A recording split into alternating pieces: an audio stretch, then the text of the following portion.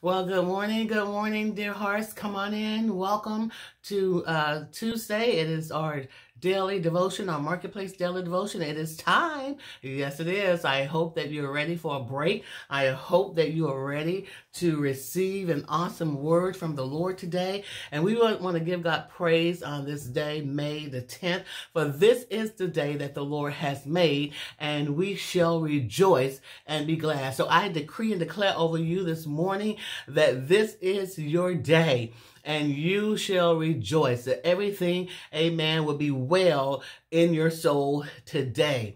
And so we're still in the book of Acts. I told you we're going to be in that this book for as long as it takes, maybe uh, next month as well, uh, because we're just really on the fourth chapter.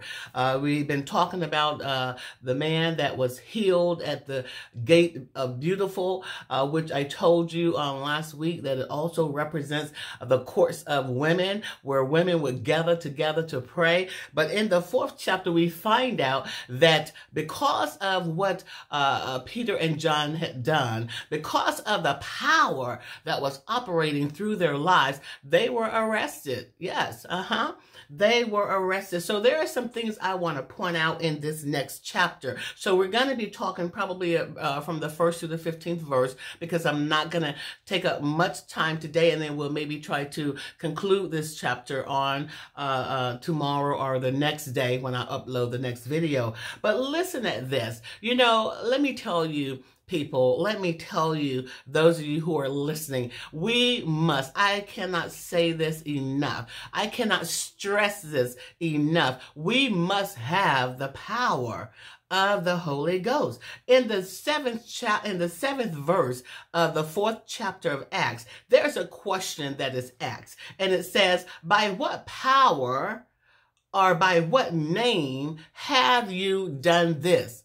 Now, this is a question that the Pharisees and the Sadducees and the, the, the uh, well, uh, let me just read it to you so I don't misquote anything.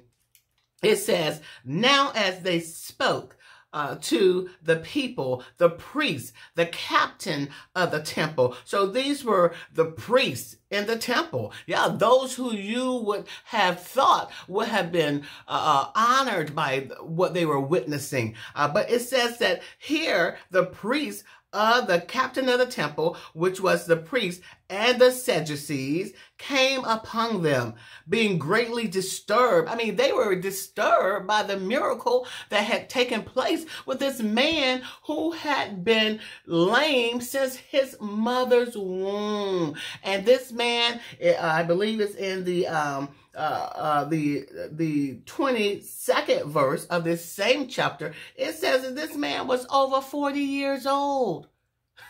but you know what I like about this? How God will, He will uh, make your enemies be your footstool. He will prepare a table in the presence of your enemies. Hallelujah. This man was placed at the temple. He had been there for 40, over 40 years for people to, they were well known with the fact that he was not able to walk. They were well known with the fact that he had been lame from birth. It was no denying that this miracle had taken place.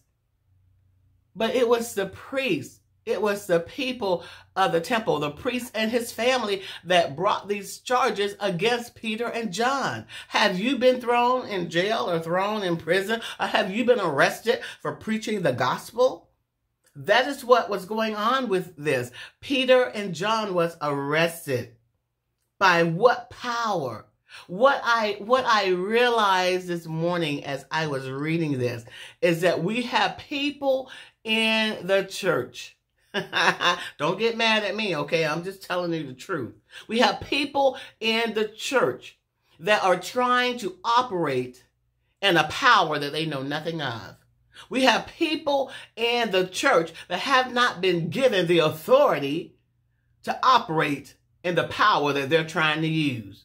Okay, well, uh, uh, I believe it was the sons of Sceva, uh, the, the sons of Sceva in Acts, the 19th chapter, that was trying to operate in a in a power and an authority. You know, as as I was, uh, uh, let me just put it another way. Maybe you understand it this way.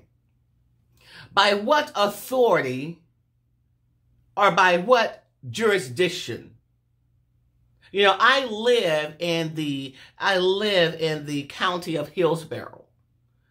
Uh, Florida, in the, in the county of Hillsborough, Florida. So uh, the, the police officers in this county, they have they have been given the authority. All right, they have been given the power and the authority by way of, or by the name of, by the judicial system that operates under Hillsborough County under that name. What authority are you trying to use uh, the name of Jesus when you don't even know him? You're trying to operate uh, in an authority and a power that you have no relationship with under the uh, uh, under the judicial system of the courts of heaven. yeah, you you'll get that about midnight. Under the judicial system of the courts of heaven. You have been trying to operate and use power that you don't even understand, that you don't even have a relationship with. You got to have a relationship with Jesus in order to use his name. You just can't use his name because it sounds good or because it looks good. You got to have a relationship with the one that gives you access to the power. Do you get that? Okay, all right. I'm glad you get that. So here we have one a point. I'm going to make several points here. Here we have Peter and John being arrested for preaching the gospel. We have Peter and John that had been arrested for preaching the gospel. Then, even in the midst of the arrest, it says that God kept adding to the church. Yeah, and and and, verse four it says, you know, five thousand was added. You have three thousand that was added in chapter two, after they received the Holy Ghost, and Peter went out and preached with such power, it says that 3,000 was added to the church the same day. You say you have the power of God? When you open your mouth, when you speak, something should happen. When you talk about Jesus and share your testimony, lives should be changed. I'm talking about the power of God. Another point. It was the high priest and their family that was behind the arrest. I'm going to let you go back and read Acts, the fourth chapter, 1 through verse 15. When you operate under the power of God, you're not going to, you know, you're going to have people that come against you. You need to be ready for that. Your own family may come against you. People that you work with may come against you. People that you go to church with even may come against you when you begin to stand up for what is right and preach the gospel of Jesus Christ. The high priest and their family. These were people in the temple that should have been backing Peter and John. But instead, they were the one that caused them to be arrested. Another point. Peter, it says, was filled with the Holy Ghost. Okay? It said, Then Peter, filled with the Holy Ghost, said to them, The power will give you boldness. it will give you, they used to call it in the old days, holy boldness. Having the power of God will make you stand up and speak out. It will give you boldness.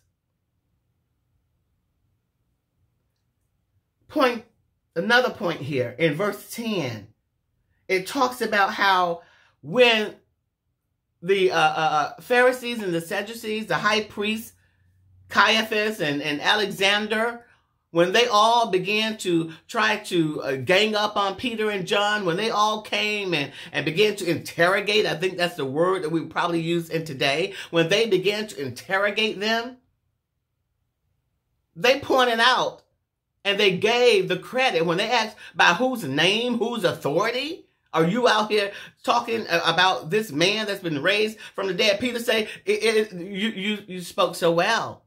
because it is that man. It is that man that you crucified. Yeah. but my God raised him from the dead.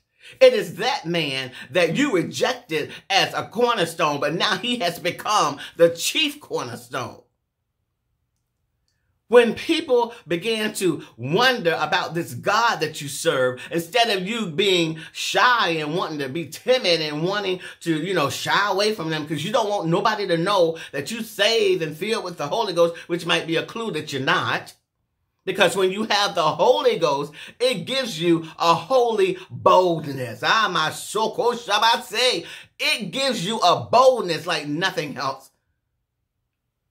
Who has a candle and put it up under a bushel. Who lights a candle and put it up under a bushel? He says, You are the light of the world. A candle that cannot be hid. When you have the Holy Ghost, you become bold. So bold that, that people that you know may think you're crazy. ah, yeah, yeah. He said, This God, this Jesus of Nazareth, I want you to know exactly who I'm talking about and where he came from. When they ask, can any good thing come out of Nazareth? Yeah, this good thing. That's the name. Uh-huh. So you got to have a relationship. You just can't know the name. You got to have a relationship. And then the next point I want to make before we get off here, because I'm excited. I'm excited, guys. After they began to question Peter and John. And after, you know, they began to interrogate him. Listen here, in verse number 14, they could not even, they didn't have any leg to stand on. It says, and seeing, Let me just read it here before, uh, it's my last point here. It says, and seeing the man whom or who had been healed standing with them. Where is the proof of the Holy Ghost that you say you have? Where is the proof and the manifestations of the works that you say that you're doing that are, should be good works? Where is the proof? Where's the proof? He said, they shall know you by your fruit. Where is the proof? When the Pharisees and the Sadducees and the high priest and the Sanhedrin council, when they began to look at the proof, the man that had been lame from birth, the man that had been sitting at the temple. Look how God just set this up. 40 years of setting this up where he could not, the miracle that took place could not be denied. They could not even deny it. Let me read it again. I, I just got so excited. now seeing the man who had been healed standing with them.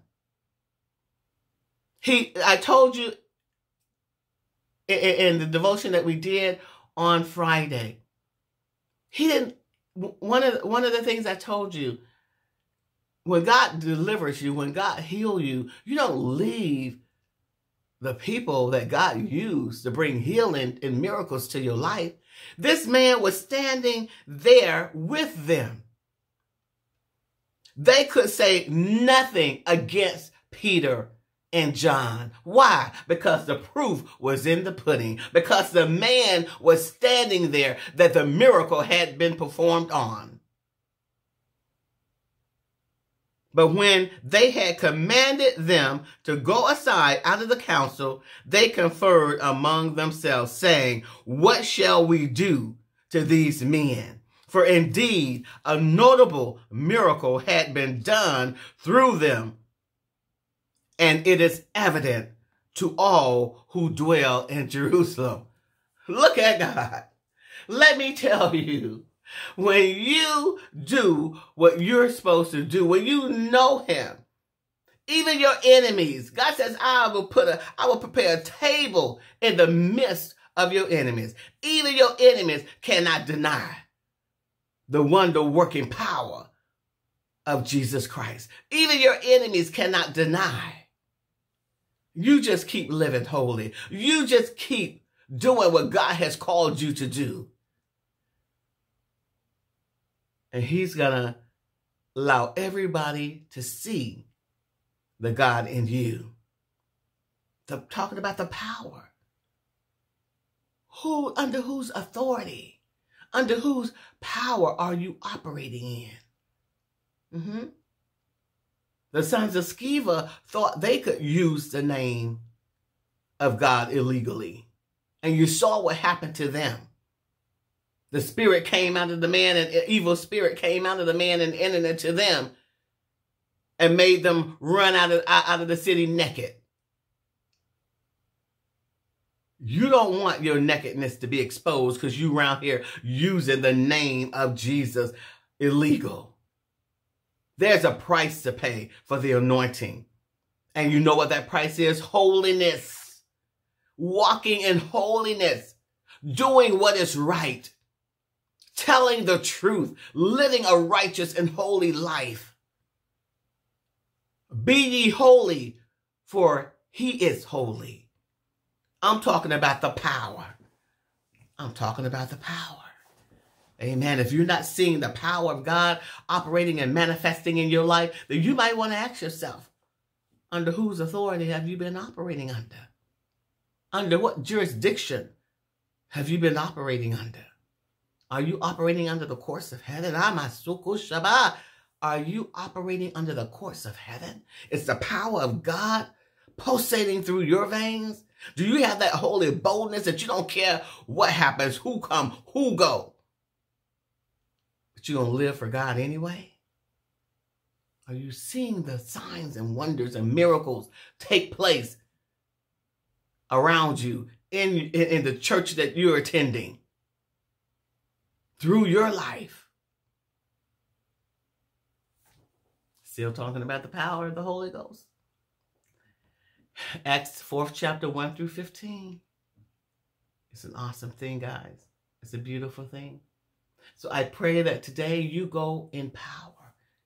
You go out and share the gospel of Jesus Christ in power. Amen. Amen. So until our next drop, with our daily devotion. This is Recharge. And I hope you've been recharged today with our Marketplace Daily Devotion. Smooches. Mwah.